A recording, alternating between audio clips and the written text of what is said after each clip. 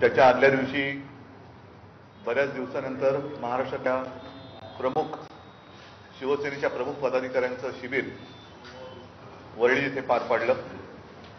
आज बऱ्याच दिवसानंतर जे आमचे नगरसेवक आहेत मुंबईचे त्या नगरसेवकांची बैठक घेतली. कारण मध्ये मध्ये मध्ये काही कुणकुण कानावरती येत असते की कसे कशी कामं तिकडे चाललेली आहेत. एक वर्ष जवळपास होऊन गेलं.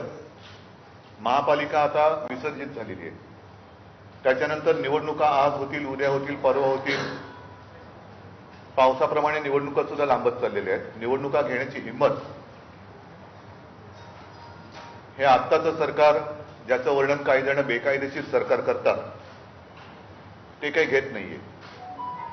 लोकांची कामं लोकांची सेवा करायची कशी हा एक मोठा प्रश्न पडलेला आहे. पैसा उधळला जातोय खर्च केला जातोय त्याला जाब विचारणारं कोणीच नाहीये. ज्या वेळेला महापालिकेमध्ये जनतेचे प्रतिनिधी असतात तेव्हा तिथे प्रशासन प्रस्ताव पाठवत असतं स्टँडिंग कमिटीमध्ये सर्व पक्षीय प्रतिनिधी असतात त्यांच्यासमोर त्याच्यावरती चर्चा होते मंजुरी नामंजुरी होते आणि मग हे कॉन्ट्रॅक्ट दिलं जातं. आता आपण पाहतो आहोत की वारेमाप उधळपट्टी चाललेली आहे. मग ती रस्त्याच्या नावाने असेल जी ट्वेंटीच्या नावाने असेल आणखीन कशाची असेल? मुंबईला मायबापच कोणी राहिलेलं नाहीये. सगळं काय आहे ते लुटालुटच चालू आहे.